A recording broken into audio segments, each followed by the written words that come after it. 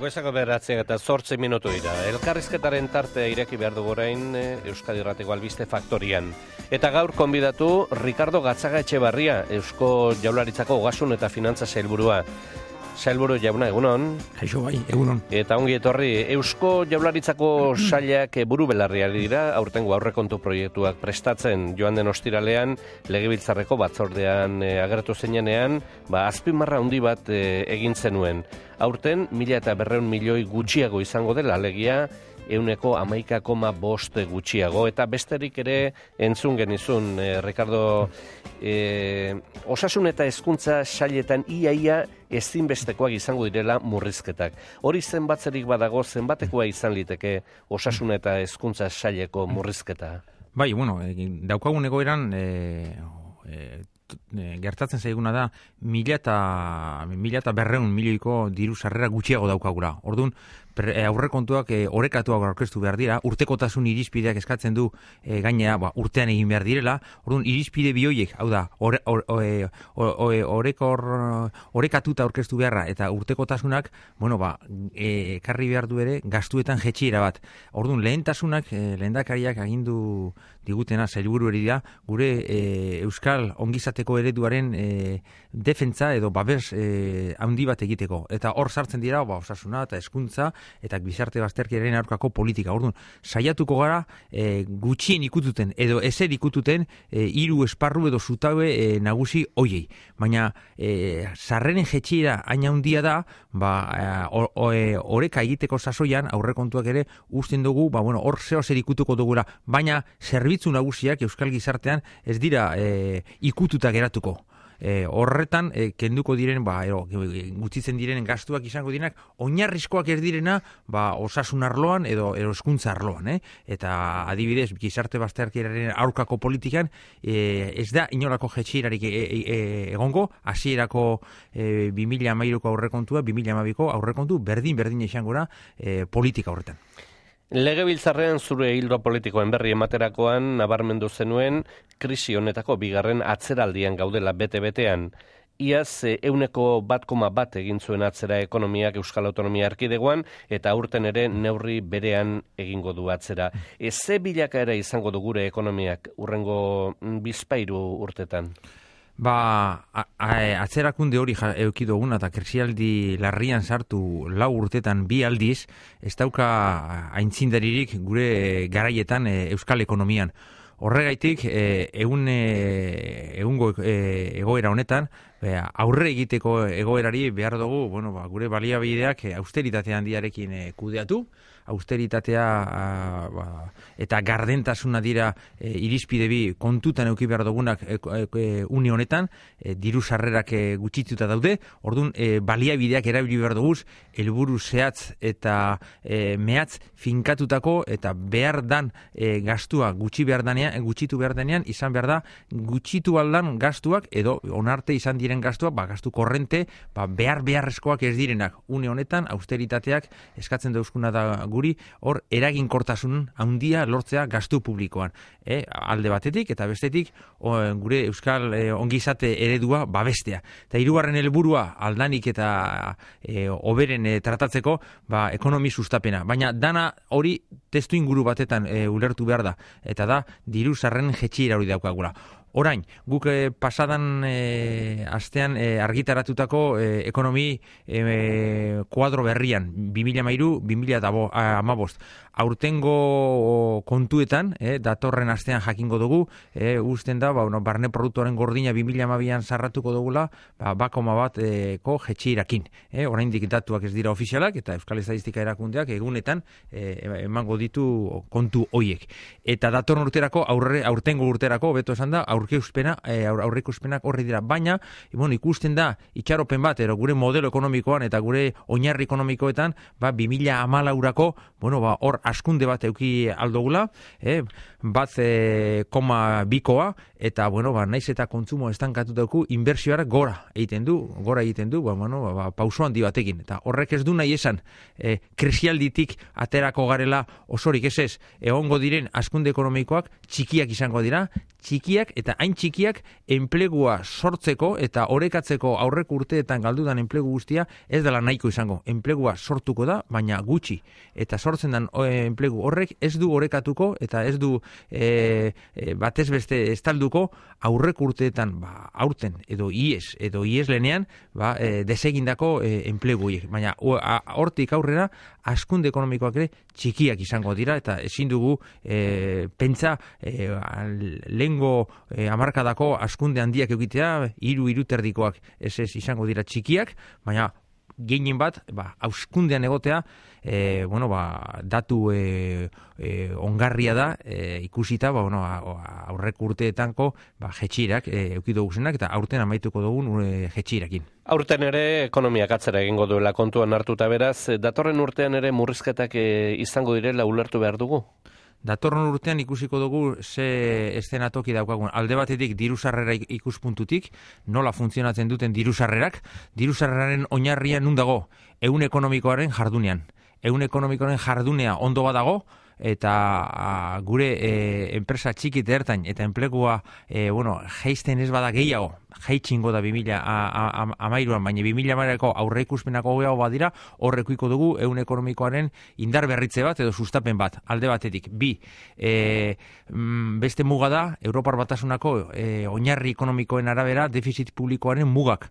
Defizit publikoaren mugak, oraindik ere mugatuagok egongoa dira, ordun hortik ere baliabide gutxiago eta e, irugarren aldetik ikusi behar duguna da, bueno, ba, e, lortzen badugu itun fiskal bat edo a, erreforma fiskal baten hitzarmena alde batetik eta bi estaduaekin lortzen badugu konpontzeko daukagun arazoak alde batetik itun ekonomikoaren e, eguneratzea eta bi ekupoaren e, e diferentziak edo eztabaida daukagusenak hor euki da algo dugu 2014 baliabide gehiago. Baina momentuz uh ba, ba e, e, da hitz egiteko. Murgilduta gaudena da 2013ko aurrekontu sakonean eta bere barruan dauden arazo guztien oreka lortzea eta gure e, jaurlaritzako aurre proiektu hori alderdi politiko guztieri aurkeztea uh, legibiltzarrean, e, bueno, ba, ofizialki e, presentatu baino lehen. Egungoari lotuta eta egoera larri honetan, e, Ricardo Gatzaga Etxebarria,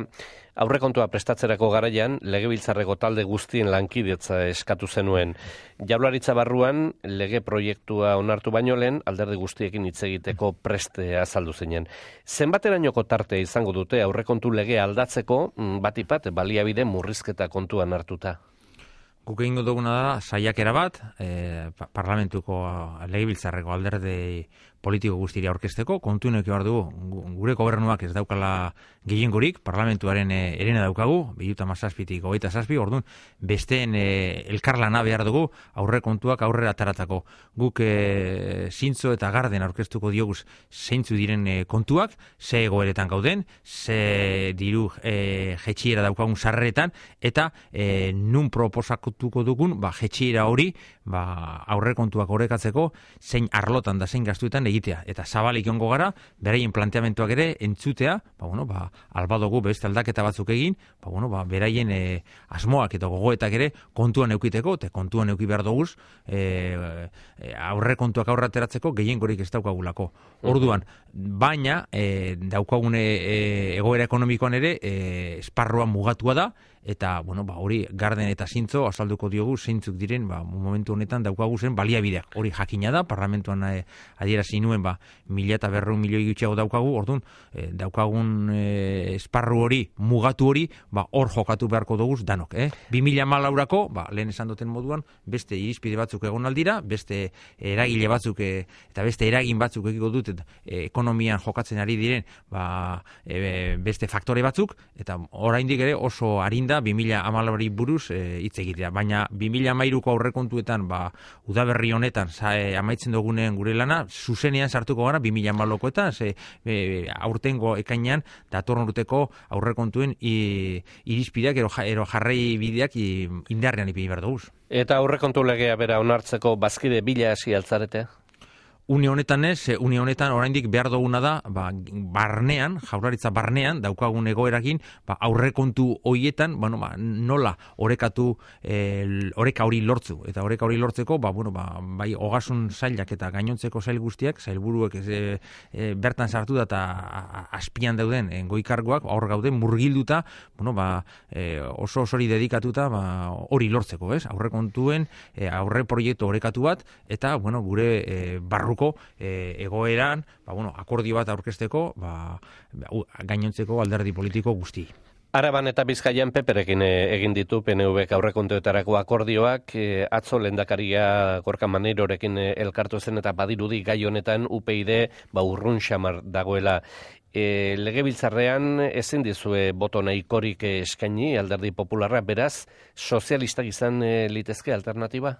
Izan aldia sozialistak, izan alda ere eskera bertzalea, guk danak initzen ingo dugu, ez dakiz planteamentuko duen e, alderdi sozialistak edo, edo eskera bertzaleak, EH Bilduk, danari azalduko diogu zein den egoera eta ze e, edukin daukan e, aurre kontuna e, aurre proiektuak eta beraien e, irizpideak ere jasoko ditugu eta nola ustartu aldiren ba, hor elkarrezketetan ikusiko dira eta hasieran bentsat ezin dugu inori ateak utzi eh? Ba, izan aldo alderdi sozialista baita izan alda Euskal Herriak bildu bakotxak bere legitimitatea dauka parlamentuan eta e, danak daukate e, aukera ba, gurekin hitzartzeko ero beraien jarrera aurkesteko eta guk bere gogo, beraien gogoetak ba, kontuan eukiko duguz, ba, daukagun e, esparru e, eguneratu mugatu honetan.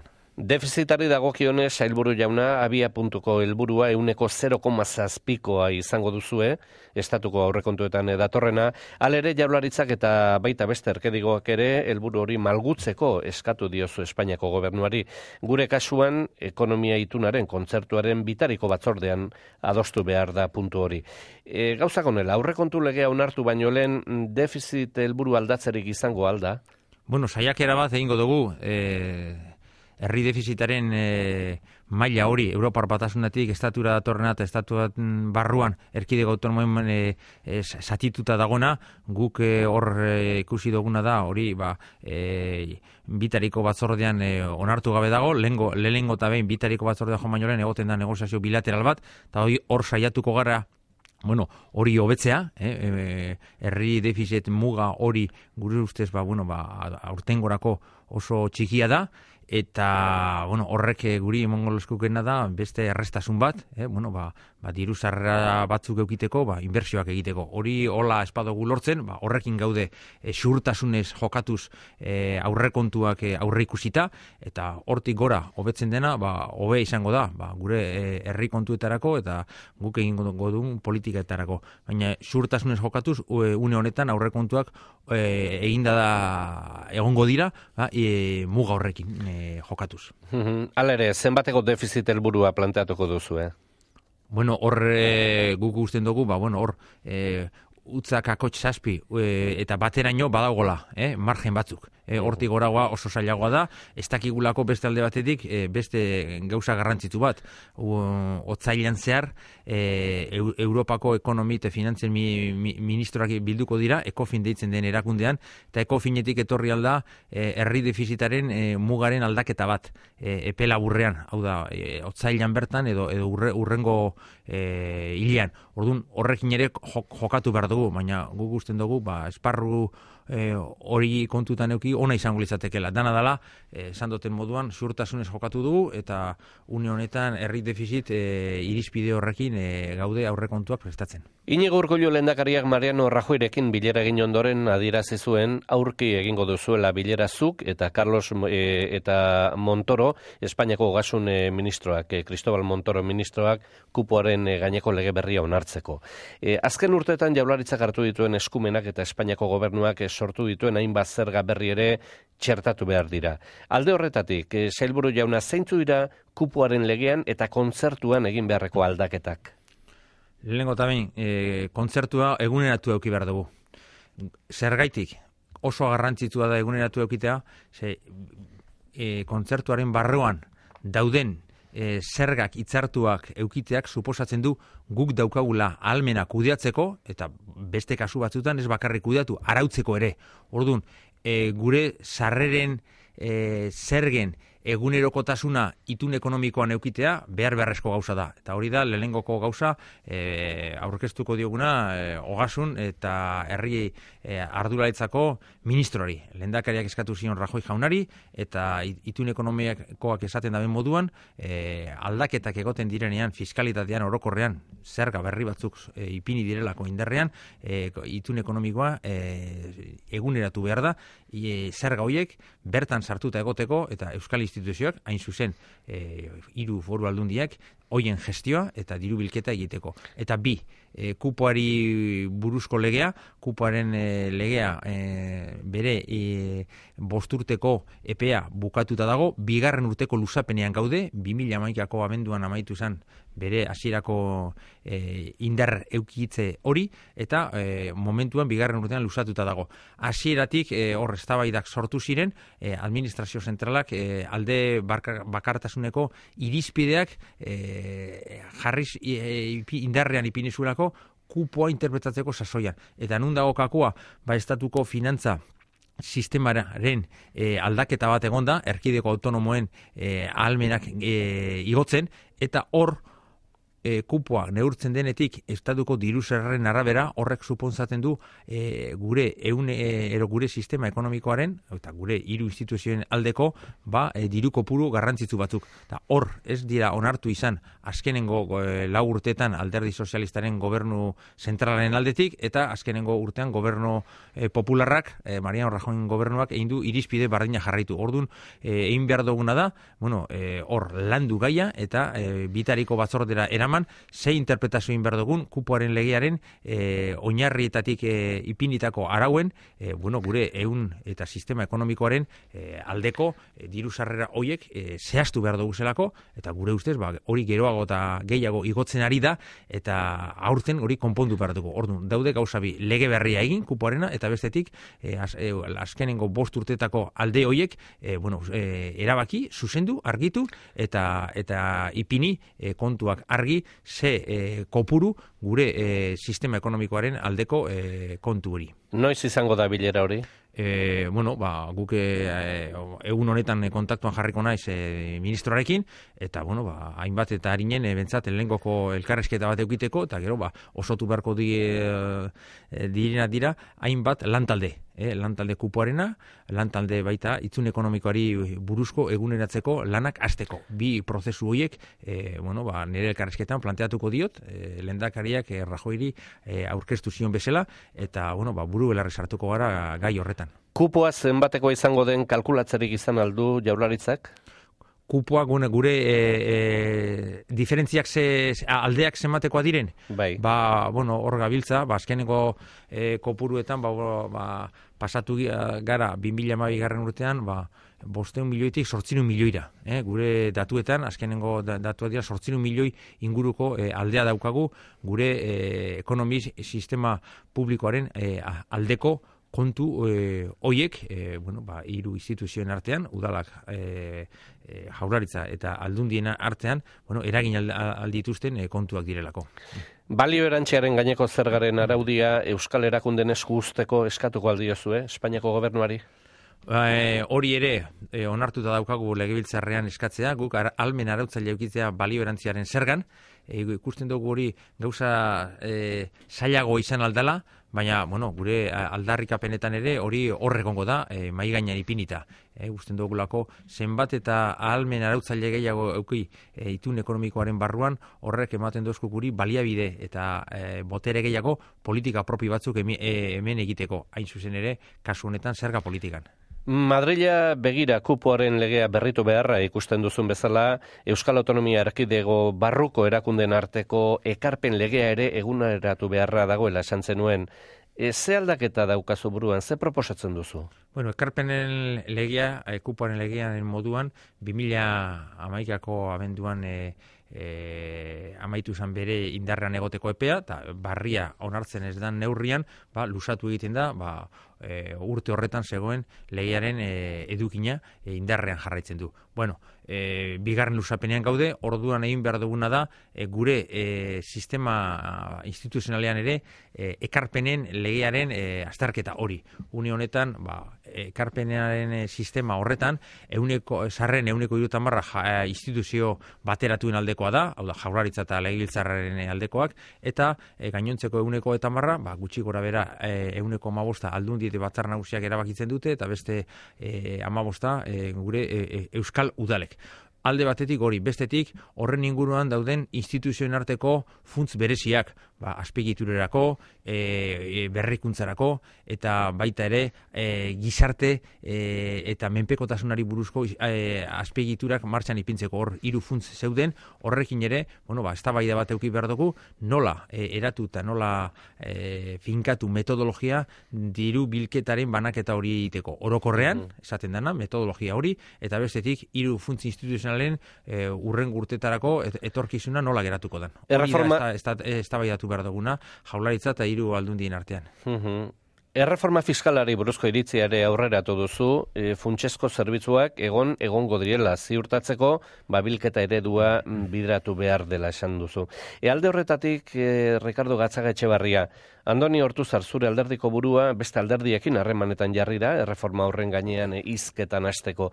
Ze aldaketa egin behar dira zergetan Euskal Erakunde baliabide nahiko izango dutela ziurtatzeko?